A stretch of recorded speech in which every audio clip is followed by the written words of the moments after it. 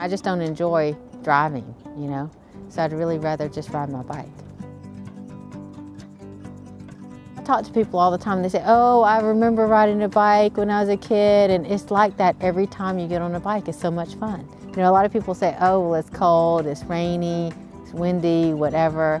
But any bike ride is better than no bike ride at all. People say, oh, well, you're always smiling. It's because I'm always on my bike. you know?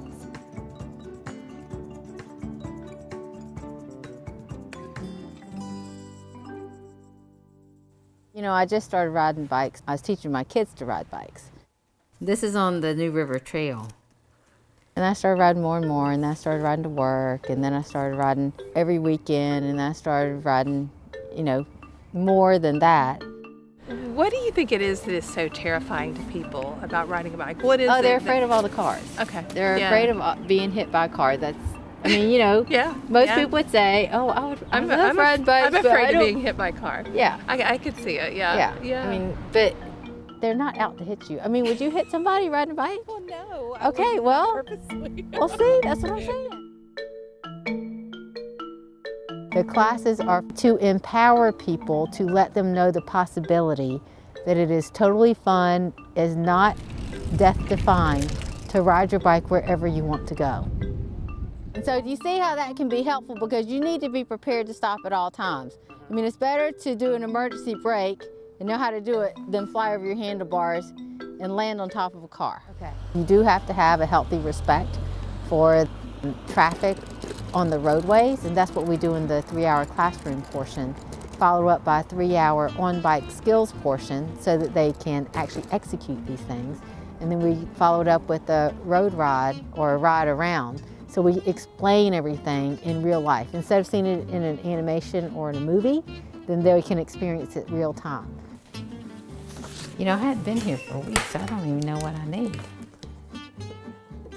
Okay, I'm all done with my list. Now I gotta get my trailer. This is my trailer. This is where I'm gonna put all my groceries in. When you're riding a bike, you're you're doing a lot of different things, right? You're doing route planning. You're doing you're looking at the weather, you're planning ahead. See, there's my little thermometer right there. That's how I get dressed. So tonight is gonna be 64, 68 to 64.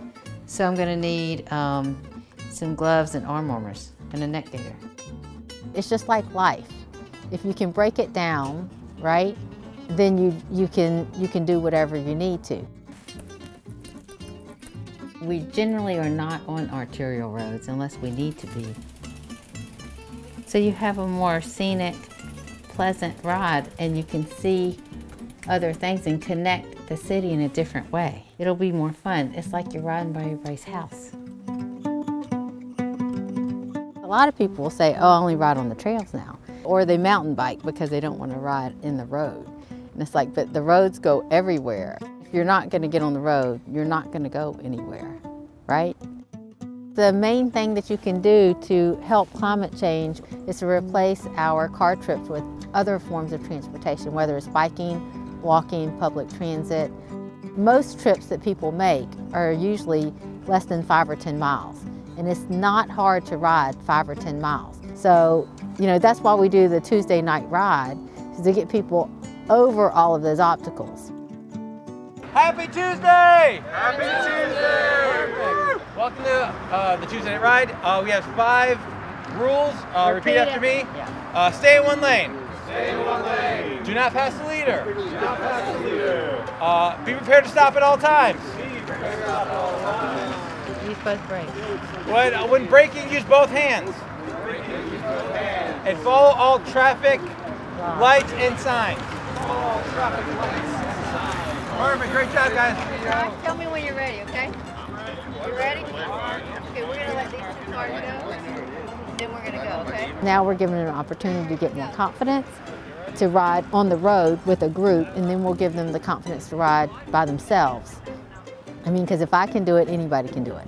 Because I am not an intimidating person. I'm not a, you know, necessarily an athletic or fit person. I'm not a mechanical person, but you can ride a bike because they're that simple and it's that easy and it's that much fun.